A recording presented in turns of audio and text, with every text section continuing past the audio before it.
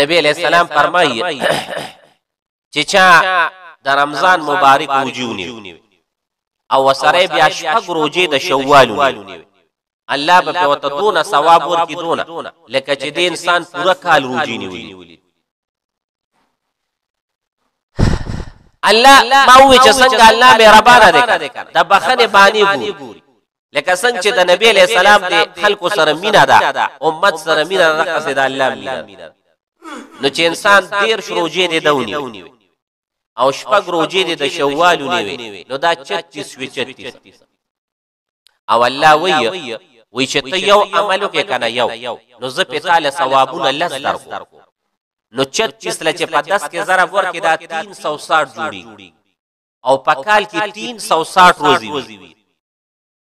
نو چې دیر دا شو شپږ دغه شو 36 تیونه وي نو د ټول کال د روزو ثواب په پیته میلو الحمد لله نحمده ونستعينه ونستغفره ونؤمن به ونتوكل عليه ونعوذ بالله من شرور أنفسنا ومن سيئات أعمالنا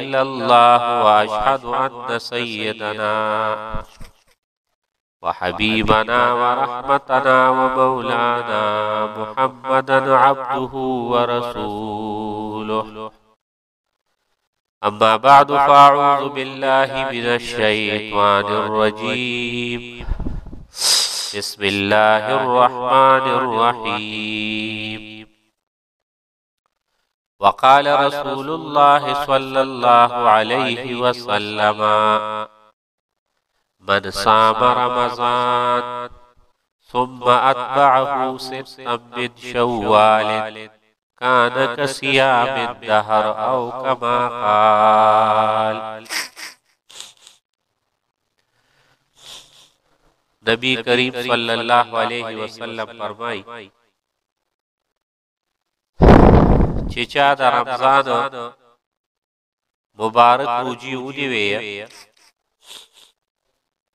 او بیا دې سره د شوال په میاشت کې شپږ روجي نورې ودی وی نو دا داسې شوی لکه چې د انسان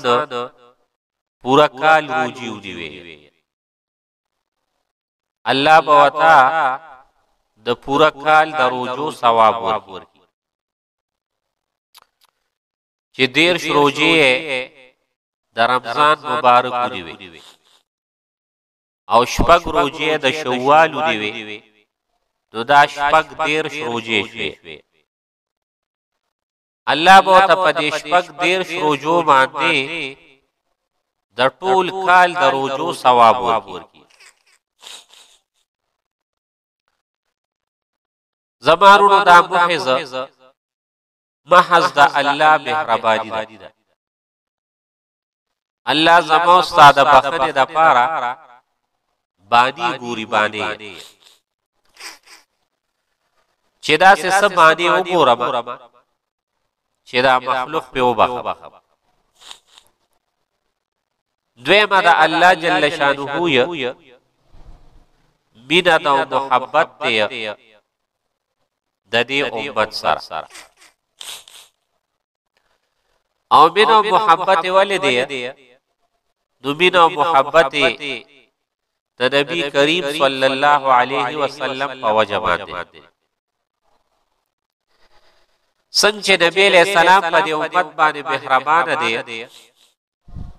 او د دې امت سره مینه کړدا او محبت کړې دی او په آخرت کې به بیا د دې امت سره ناشنا مینه او ناشنا محبت کوي د نبی کریم صلی الله علیه وسلم د دې خپل امت سره ډیر زیات مینه او ډیر زیات محبت دی او وسره انفرادی او یو کس سره نبی علیہ السلام ډیر مین او ډیر محبت کړی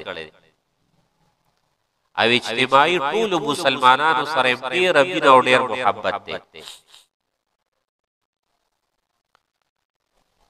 نبی کریم صلی الله علیه وسلم چې کله وړو کې او ماشوم وي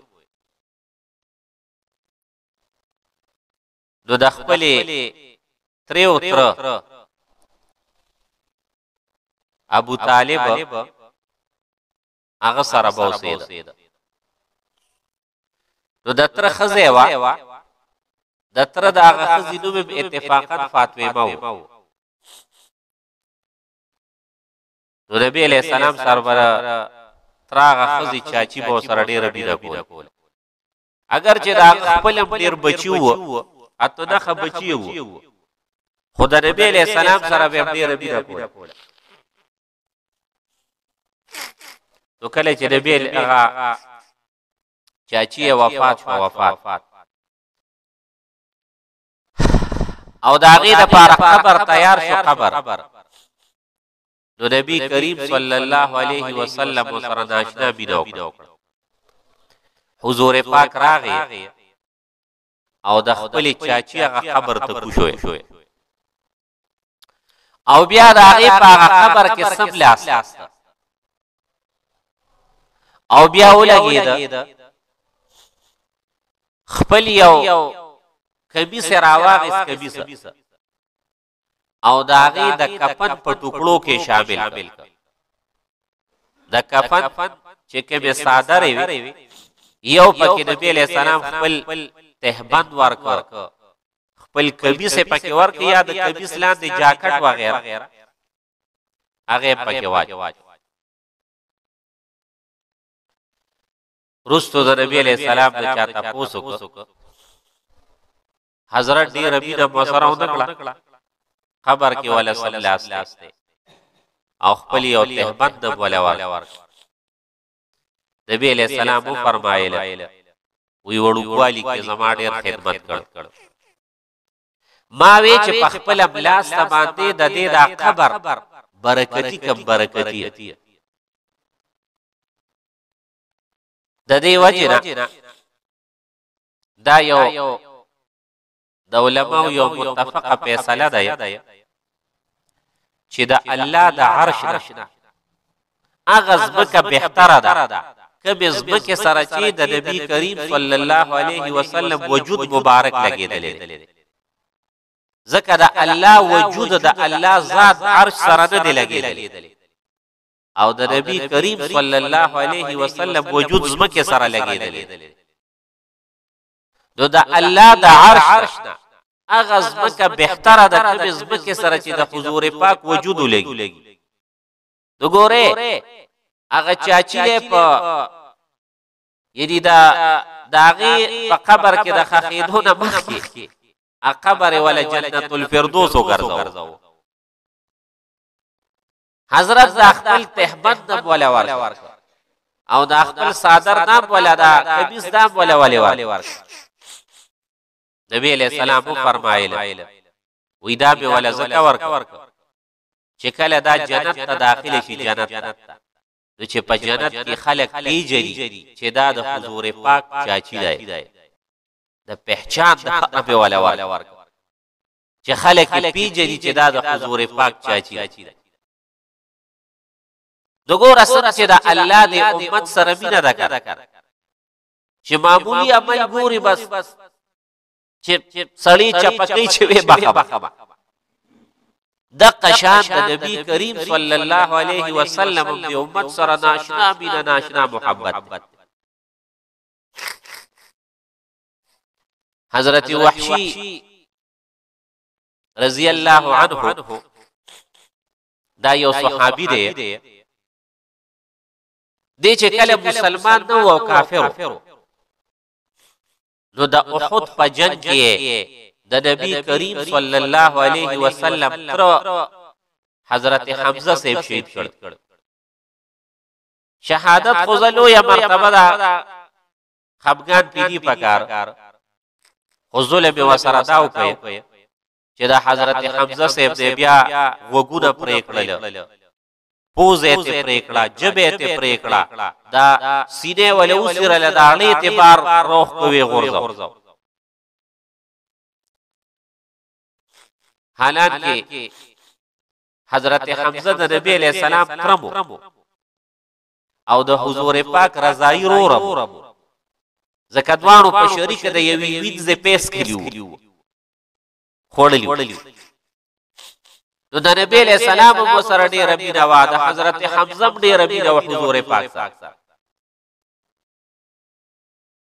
یو پیرا ابو جهل یو ځای کې ولګید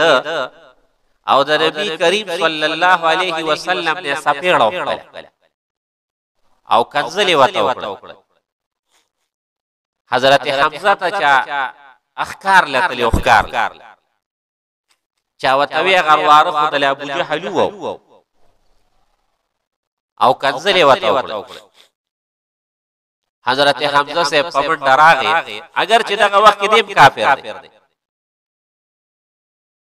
په ابو جهل په لید غزار وکړ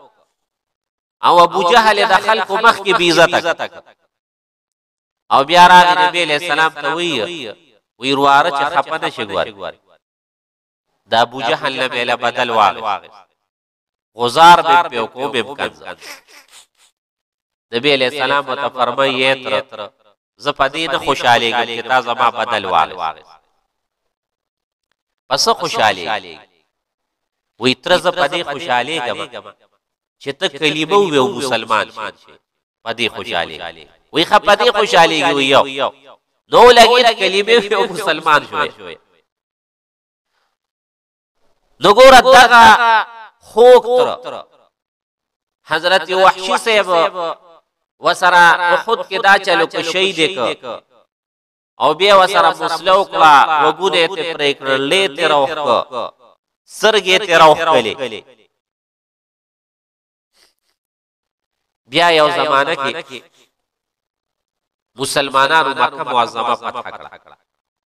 نبی علیہ السلام مکه معظمه فتح کړه نو وخشي صاحب خو مکه معظمه کې اوسېد نو د مکه معظمه نه تختید طائف لاړ او چې بیا به وته خطر چرته مخصوصې ده کړ نو دا غزې نه به تختید په ځای ته وته یو پیرا ده طائب څخه خلک راجم شوې او اراده زو ایمان وروړو اسلام وروړو دی وخشي وتوی رضی الله عنه وی زمام ډیر لګیږي خو ما خدا سے جرم کړی دی چې ناقابل معافی دی نو یقین مې نه دی کومه معافی د طائف باز خلک ډیر روپیارو هغوی ورته وی یو چل به وکړو چل به ده وکړو چې دا به د یو وفد شکل جوړ کړو او دی وفد له به داسې شکل ورکو چې موږ د طوایب د خلکو له طرفه قاصدان یو قاصدان راغلي سوال جواب هم راوړی نو د دغه پیغمبر دا قانون دی چې قاصد ته څه نه وایي اگر چې قاصد د سر دشمنی خو استازي ته ضرر نه رسي نو موږ به وایو چې دا وحشي چې دا استازي د طوائف د خلکو را طرف استازي او استازي ته هغه ضرر نه رسي راځه په دې معنی بلال شي او چې موږ ایمان او اسلام وروړو تم پکې راوړه کې دې شي کار جوړ شي هغه وی ډیر وګوره دې یقین نشته ګوره چې ما به معاف کی دې یقین نشته چې ما به معاف کی چې هغه وفد راغی نبی کریم صلی الله علیه وسلم ته خبر اترو نه پس اوی ایمان راوړل شروع کړل بس ناګانه دا وحشی صاحب چیرې دی پاسید او کلمه شهادت وی مسلمان شو نبی علیہ السلام ولید چې خدا خو وحشی دی تپوس ته لکی وی صاحب ما کوم کلمه وی قبول ده نبی علیہ السلام وتفرمایي وحشی ستا کلمه راوړو سره تا چې مخکې څونه ګناهونه کړي وو هغه ټول درنه محو شو معاف شو درته خدا راته ووایه چې زما تره تا شهید کړی نو هغه وحشي صاحب دغه و هوښیار اوس کو داسې وي چې یو ما شهید کړی نو دا یو جرأت و جرأت نو داسې کیوت وی صاحب چې الله تاسو منظوره واغه شوی الله چې داغه په قسمت او نصیب کې سلی کلیو کړه نو سیب بس هغه وت رسیدل دی وغه وسره شي نبی کریم صلی الله علیه وسلم تو فرمایل وی بس اسلام دې قبول دی معاف دی خو ګوره یو کار کاوه او په دې کار کې ستا پیدا ده زما پیدا نه ده چونکه زه پیغمبر یم او تا زما تر ډیر په بې دردې سره شهید کړی اسلام او مسلمانی دی قبول ده مخکینی ګناهونه هم د تماف خو زما مخې ته ډېر مه کېنه هسې نه ته چېرته زما مخې ته ناست او ما باندې هغه انساني فطرت را باندې غالب شي انساني فطرت را باندې غالب شي تر رات را یاد شي هسې نه زما لکه د تسران شي خیرې مې دړنه ولزي لکه مې راته سره نه شي ضرر د تو نه رسي نو دغه مهرباني کوه چې زما مخې ته ډېر مرازه بس واقع هم داسې وي د انسان دا فطرت داسې دی چې مثال په تور تا سره چا سره کمی زیاتی کړی وي نو چې نی ویني نو انسان داسې سوچ او بس خیال بدل خو چې ویني بیا شیطان وسوسه کوي هغه مخيار وي سیب ډیره خره نو بس لاړ او په جهاد کې مصروف شو او بس صحابه سره جهادونو کې جهادونه نو ګوره نبی له سلام دونه په امت باندې مهربان د جاهلیت په دور کې باندې خلکو خپلې لونه واجلې الونه به زکه واجلې چې دا بلا بیا زبل چاله ورکو او بیا به زما زوم جوړي او بیا به هغه ما کرا راځي زدا به وته یو پیغور خون تخکارې دی نو چې لونه به او شو هغه به وجلې یو پیرا یو صحابي مسلمان شوی نو چې راغی نبی کریم صلی الله علیه وسلم ته فرمای وی سیب یو قصه تر جاهلیت وکم سنن دارمی د حدیث یو کتاب دی هغه کې لیکلی سیب یو قصه تر وکم نبی علیہ السلام فرمایلو کرا تر وی سیب د جاهلیت په دورونو کې زه سوداګرو تجارو ما لورو لورو علاقو ته بتلم د تجارت د پار او چې بلاړه منو بیا په کلونو پس پرات راتلم زه چې تلم نو زما کور والا امید کېوا چې واپس رالم نو کور والا نه تاسو کو هغه راته وی چې دغه سي جینې پیدا شوی و او استاد حکم مطابق تاوی کو جینې پیدا شو وی وجنه بس ما و وجل او خخمه زړې راخه چې زمانہ سي کور کې سرواز وشوي نو داس یو ماشوم به ملي در علي د من کرا بد لرات خزنه مې تاسو کو دا ماشوم سوګ دا ما ته وی دار گاونډیانو اتفاقا زما غ ماشوم سره انتهایی محبت پیدا شو نو ما با غ ماشوم سره ډیر محبت کو د خزه می دا یقین راغی چې د دوه سره محبت ډیر زیات پیدا شو نو کو زه وته اوسوم ویم چې دا ستالور د نو سوته نه وي نو خزه وته راته یو ورځ وی چې ما خو تانه پټه کړې و خدا ستا غلور دی دا مې پتا خانه کې دنه پټه ساتلې و دا هغه دی وی صاحب چې دا مې واورېدل کړ نو شیطان را ته وسوسه چول شروع کړل مخکې نه مې ځنګل ته کودال او بیلچی و غیره مې یو ډول ته مې کېښوده او یو ورځ مې دقه لور مې ځان سره روانه کړه مې راځه چکر در کوم او هغه ځنګل ته مې بوتلی هلته چې مې بوتله هغه چې کوداله وغیره مې ایښي وو هغه مې راواغېست او ردې پناپ مې کنده کنول شروع کړل نبی علیه السلام ته وایي صیب هغه ماشوم را سره دونه مینه کوله دونه چې ما براسه خوره کنوله نو دونه براله خوره براله زما ګیره کې سر کې بون خطا زر به رامن ډکړې مال به ګیره وسندل زر به را لسر وساندل زر به را لجامع وساندل بعض وخت کې به منډه کړې په ما به سورې جوړ کو سورې لوپټه صادر وغیرہ به نو په ما به سورې جوړ کو او ما نه به دې مار تاسو کو چې بابا دا تسله کړي وې صاحب چې کله مې برابر کړ نو دا ما د خو چې ما دا کند داسې لګه برابرول شروع کړل نو دا ماشوم او خيار ودا پیشوا رنگ رو رو زیړې دی چې ما کند برابر کو منډه مې کړ دی را نه غروال رو مینه وسیب او کند کې مې ورواچولا او غیر ته چغه والي چې ما څه ګناه کړل چې ما خخې ژوندې مې سه پاغي کې خان کړه خوره مې پواړو هغه صحابي دا قصه کوي خو نبی علیہ السلام ته خیال نه دی نو چې دا قصه ختم کړو دا سه برو قتل حضور پاک دون جړلی ودونه چې دا ګیره دا سه په اوخ کو باندې لندر او دا اوخ کې دلته پرې گریوان کې رابې دومره انتهایی د نبی علیہ السلام د امت سره مینا دومره محبت داسې د حضور پاک د امت سره مینه او محبت دی ګر د قربانې په موقع یو پیرا نبی علیہ السلام ولګید دو غډانی قربانی کړل نو یو صحابي ته تپوس کوي وی سیب تاسو خو دو قربانی کړل وی آو دا یو مې د خپل ځان له قربانی کړ او دا بل مې د ټول امت د پاره قربانی کړ د ټول امت د طرفه می قرباني او کړه مې د ټول امت د طرفه قرباني د صحابه په مینس کې یو پیرا فرمای وی کاش چې زه د خپل ورونو سره میله وشوي نو صحابه وته وی وی سیب من دی رونه نه یوس من دی رونه یو کړ نبی علیہ السلام ته فرمای وینا تاسو خو میرونه نه تاسو خو می مرګری اصحابي تاسو خو زما مرګری او دوستان یې نو سه برونه دي سوق دي وی زما رونه چې دی هغه دی چې زبې نیم لیدل او په ما به ایمان وروړي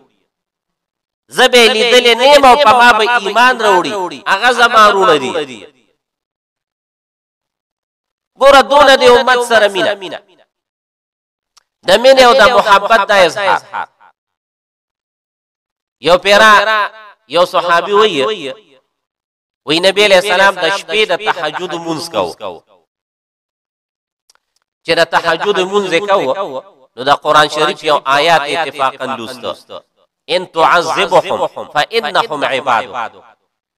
الا کو ته زما د امت له عذاب ورکې کړه نو الله ستا بندګان دي نو ستا مخلوق دي ستا بندګان دي الله یعنی چې ته عذاب ورکې نو الله تا ته په سمې لوي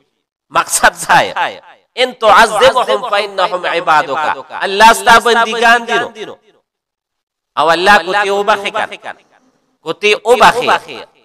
نو خدای پاک ته طاقت او قدرت والے سوک تا نه تپوس والا نشته چې دا دی ولی او بخل دا یا ته ټول شپه لوستو جړلې او چې بیا کله دینه پاره شو نو یو ناشنا دعا وي اللهم امتی اللهم امتی یا الله زما په دې امت باندې رحم وکا خدای زما په دې امت باندې رحم وکا او ناشنا دی سره جاړي حدیث کې راغلي دی حضرت جبريل راغی عليه السلام تپوس کوي وی الله راولې ګلم الله راته وی چې ولې جاړي تا نه تپوس کوي الله چې ته ولې جاړي نبی علیہ السلام او ته جبرئیل زه د خپل امت په باره کې ډیر پریشان یم چې دوی دوی بس کیږي نو هغه لاړ واپس الله تی وی الله هغه وی چې د امت په باره کې ډیر پریشان وی ورشه جبرئیل ورته وایا چې ستا د امت په باره کې به تازه خوشاله اخرت کې به زستا امت په باره کې به خوشاله خپکوم باندې نه نو چې څنګه الله دې مخلوق سره مینا ده ته قشان د نبی کریم صلی الله علیه وسلم دې امت سره او دې مخلوق سره ناشنا مینا او ناشنا محبت او په آخرت کې به مو سره ناشنا مینا ناشنا محبت ګور امت سره ناشنا مینا ناشنا محبت ابو جهل با په لګیدو دا لری به پیچو لری حضور پاک بیت الله کې منځ کو ابو جهل لری راول په یو سړیو د حضور پاک د پاسه واچ خلق د ابو جهل د بدمعشانو د غټولینه دون یریدل دون چې د یری سوک نه ورتل چې د حضور پاک نه غلری اخوا کړو نو په ګیرټو نبی علیہ السلام دا غي د لاندې پروت عبد الله ابن مسعود لار بیبي فاطمه ته وینو هغه لا اهل هغه لري لیکن هغه ابو جهل په بارک نبی علیہ السلام څونه خصوص لري یو پیر سخ باران دی باران زول دی او باران دی نبی علیہ السلام په غزول او په باران کې لاړ او د ابو جهل دروازه وډه د ابو جهل کور کې ناس دی او خزه ته وی وی معلومیږي نه چې څوک ډیر حاجتمن راغلی ځکه د باران ته وګوره د سیلې ته وګوره د طوفان ته وګوره په دې کې راغې دروازه وډبول یاره چې هر څوک نو بس خبره ولا منمای او چې سیم رانو وختل ولا ورکوما ځکه ډیر حاجتمن معلومي چراغ دروازې لره کوي قتل نبی کریم صلی الله علیه وسلم فرمایو ابو جهل وتوي سغواړ نبی علیہ السلام ته فرمایي وی دا غواړم چې دا کلمو وای چې لا اله الا الله محمد رسول الله کامیاب بش ابو جهل وی دا خو نشم ویل خزه ورته وی وی تا خو وی چې ارسو کې او سیمو غختل کول تا خو نه کړل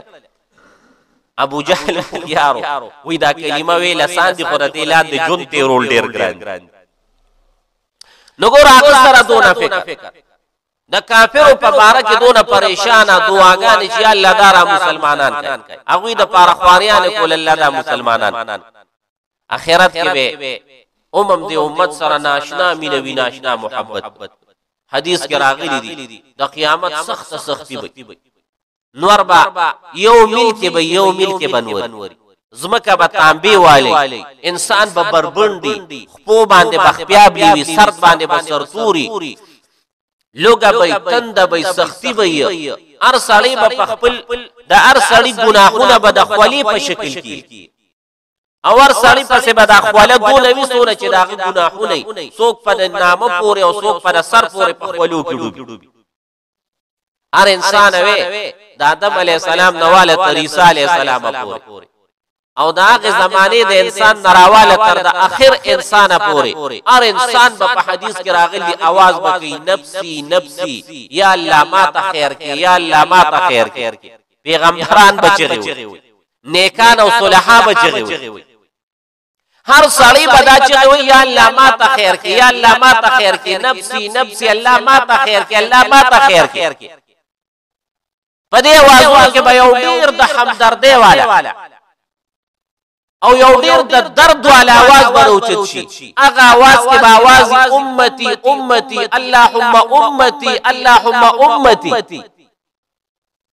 چې خلک وګوري کنه نو دا به نبی کریم صلی الله علیه وسلم صرف د حشر او د قیامت میدان کې باغه आवाज کې چې الله زما په امت رحم وکړي الله په امتي الله په امت مې رحم وکړي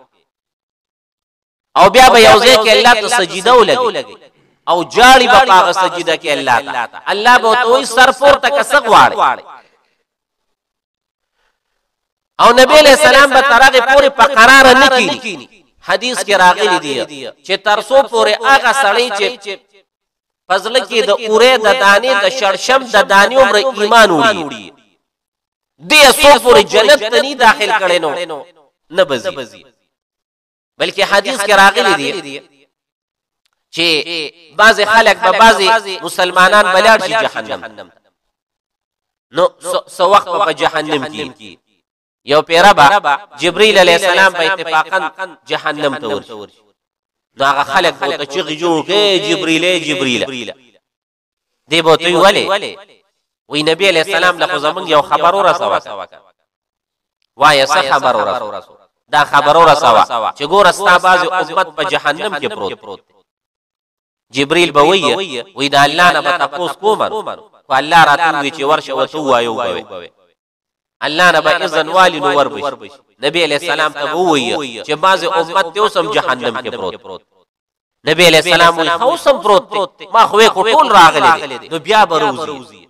او الله نه به بیا سجدو لګي بیا به جاری سوالونه بګي بیا به الله نوع مقرره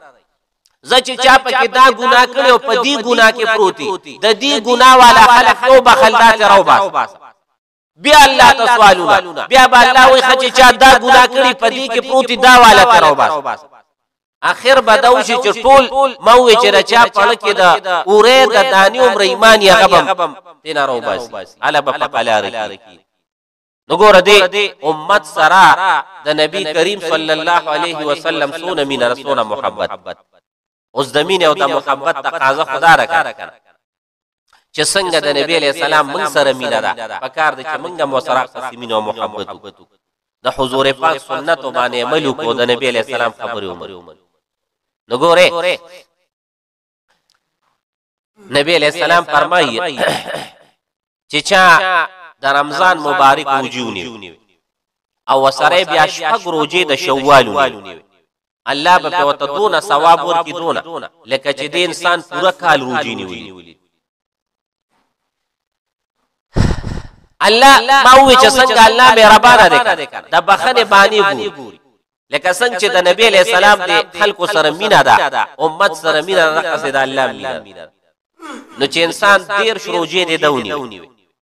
او شپږ روجې دی د شوال نیوي نو دا 36 وی 36 او الله وی وی چې ته یو عمل وکې کنه یو نو زه په تعالی ثوابونه لس درکو نو چت مثله چې په دس کې ضرب ورکې دا 360 جوړي او په کال کې 360 روزي وي نو چې دیر دا شو شپږ دغه شو چې تیستیونی وي نو د ټول کال د روزو ثواب په پیته میلو تقی عثماني صاحب خطباتو کې لیکلي دي سفیان ثوری صاحب ډیر نیک سړی و ناغه وی زه حج ته لاړم نو په حج کې را سره یو کس مرګري حج هم کو هغه مرګري می بیمار چې بیمار شو وفات کېدو نو ماته وصیت وصیت راته دا وکړ چې مړ شم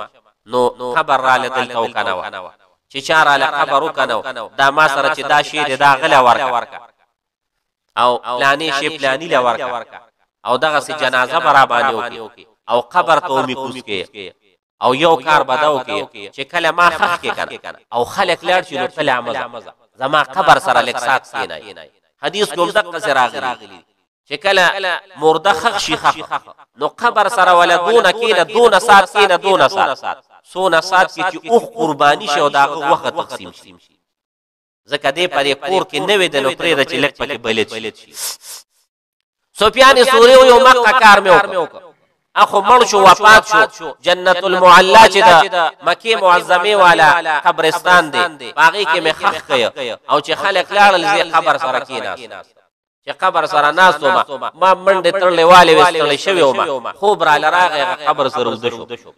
چې ود شو ما په خوب کې مې هم دا مرګري ولید مزیدار شین جنت او مزیدار باغونو کې ګرځي وی ما ما ته وی سفیان ثوری بزا اصل می چې کینولې وکارو شو بس کوزین هو ځای وی ما وی ولی وی ما ته وی الله وبخل نو سفیان سوری وی ما وی راشي زکه د چې الله پسو بخل چې هغه عمل زمو کوم مرګری پسې وبخل وی الله پدې وبخل ما چې ما به د شوال د شپږ روزې ډېرې پابندې سره نیو نو الله راته وی چې سفیان ثوری زما د پیغمبر په دې حدیث ته ډیر جو حمل کړی زب زما د پیغمبر په دې حدیث ته ډیر جو حمل کړی دی ز په دې باندې مې وبخلی انسان به څنګه نیسی ست طریقې سره نیول پکار دی نو ټول په یو ځای یو شان نیوي یو یو نیوي خو حدیثو کې خیر روجي د داوود علی السلام روجي یاد شوی چې هغه داغه روجي ډیر د داوود علی السلام عادت دا چې یو ورځ به روجه و یو ورځ به پوجا و د کو دغه طریقې سره سړی نیسی یا یو شانتی نیسی هرې طریقې سره نیوي شي اسی دماغ خپل تجربه دا ده چې څنګه دا رمضان ختم شي کنه بس سړی دا یو ورځ اخترو کې یو ورځ یا دا دا, دا درې ورځې ز اخترو کې ځکه ملمانی از دې چرته ملمکی دا درې ورځې څنګه انسان اخترو کې نو فورا شروع ځکه د انسان عادت لا جوړ دی عادت لا نه خراب شي نو فورا سړی ونی سی بیا سانی او کو بیا سړی ول ټال مټول ورکی چورګا د میاشتې مینس کې به ونی سمو د جمعې به نی سمو چوریز نی سم به او چې کله میکار نه نی سم به اکثر میاشتې رشي پاتې شي الله دې موږ تاسو ټول ته نی وو توفیق راکړي خدای ګناهونه معاف اخره خاتمه رب العالمین ایمان سره خدای دا رمضان مبارک کومه میاشت چې تیره شوه څونه روژې مرګرونې وې الله ټولې په خپل جناب کې قبولې او منظورې رب العالمین هر ماښام کې الله ته لس زره دي حدیث کې یا لس لا کریمان لګیر شوي دي خو دونه جهنمیان الله ته پکې د جهنم نه آزادې یعنی اعلان کوي چې راتونه مې وبخ یا لس لا کړي یا لس زره دي خو الله ته هر ماښام کې اعلان کړي چې دا دونه مې هغه مې وبخښله نو رب العالمین که په تیر شوو ماښامونو کې دې زمونږ دپاره پکې اعلان کړي او مونږ دې پکې راوستي خو ډیره ښه او الله که دې نیو راوستي نو رب العالمین بیګا له اخرې ماښام دی خدایه مونږ ټول پکې راوله رب العالمین چې ته اعلان کې چې دا دونه مې وبخل چې دا لس زره دي یا لس لاکه دي دا مې وبخل نو لس لاکه او لس لاکه نو کو رب العالمین ته اعلان کړي چې دا لس لاکه مې وبخل نو کو موږ دې پکې مخ کې راوستي یو خو ډیره خیر الله ستا مهرباني ده او الله کو دې نیو راوستي رب العالمین بیګاله پکې موږ ته ميلان وکړي پکې وبخل خدای ګناهونه معاف کړه مجلس ته څونه مرګري راغلي چې تاسو څه قسمه پریشانې وي رب العالمین خوشاله سره وته بدل کړه زمونږ ریاض اجي سیبغه بیمار هغه هم دوه کې چې الله وتعالى صحت کامله ورکړي نور چې څونه مرګري مجلس کې څوک بیمار الا ټول ته صحت کامله ورکړه دا زمونږ دا میډیا ولا مرګري دی وي ماته څه پریشانې دي او صدړار ټول تمنې د دوی تم دوا کې چې الله وتعالى برابر کې پوره کړي باقی دا زمونږ دغه دا بیټری خراب شوی سوځیدلې دا ډزې کړې او هغه اوس په درې لاکه روپۍ باندې نو جمعات کې جوز بجلی لاړ شي تیاری بیګا ماسوتن مونږ کې قاری صاحب او بجلی لاړ بیا مرګرو موبایل ټارچ لګول نو پاغي باندې رانا کړي و دا ډیر زیات مشکلات دي نو تاسو ټول مرګري ان شاء الله خصوصي دعاګانو کې یادو ساتي چې الله وته غیبی د یو طرف بندوبس ذکر خو درې لا ټول پیډ نو زمونږه د وس نه دی بس الله کولی باقی کپنی والا دی نو هغوی هم ټال مټول کوي چې نن کو سبا کو نو هم دا څه یقیني نه دی نو ډیر مشکلات دي جمعات ته نو تاسو ټول مرګري ان شاء الله خصوصي دعاګانو کې یاد وساتئ او سم دعا وکړئ چې الله وتعالى غیب او غیبي بندوبست رب العالمین چې کوم داسې وس والا خلک چې دا غوونه او ترا مایل کې غیب او غیبي رب العالمین بندوبست نو اخر خاتمه الله زموږ د ټولو ایمان سره کې کشران الله ټول نیکان او صالحان کې د ټولو مشران الله په مونږ کې برکتونه واچي مشران کشران چې څونه وفات دي رب العالمین ټولو به زموږ د ټولو الله اخر خاتمه ایمان سره اللهم صل على محمد وآله وعترته بعدد كل ما يمكن او بس داسې یو مناسب ټیم